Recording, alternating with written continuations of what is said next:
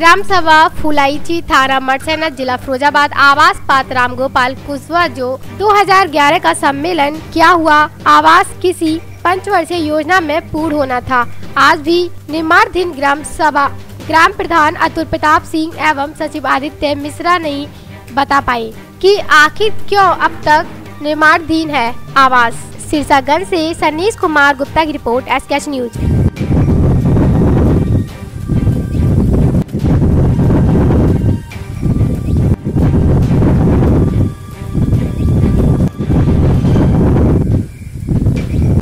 नाम है चाचा आपका?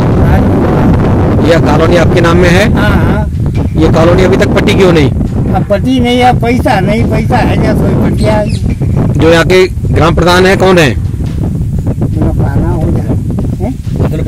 अतुल प्रसाद इन्होंने आपसे कॉलोनी पटवाने के लिए कहा नहीं। हाँ हाँ कही है वो पैसा नहीं पैसा लगे चुको अभी तक सेक्रेटरी ने क्या कहा आपसे? बिन्ने कही कैसा वो पटवा मैंने यहाँ पटवा। सरकार के निर्देश थे उसके बावजूद भी आपके आवास नहीं पटा अभी तक क्यों नहीं पटा एक वर्ष में? नहीं पटी आएगा। तब तो खैर एक वर्ष में तो आओ बनो ना तब तो। पैसा तो वे आए। ग्राम प्रधान ने आपसे क्या आश्वासन दिया है? पटे पटवा आ जाए कही रहे।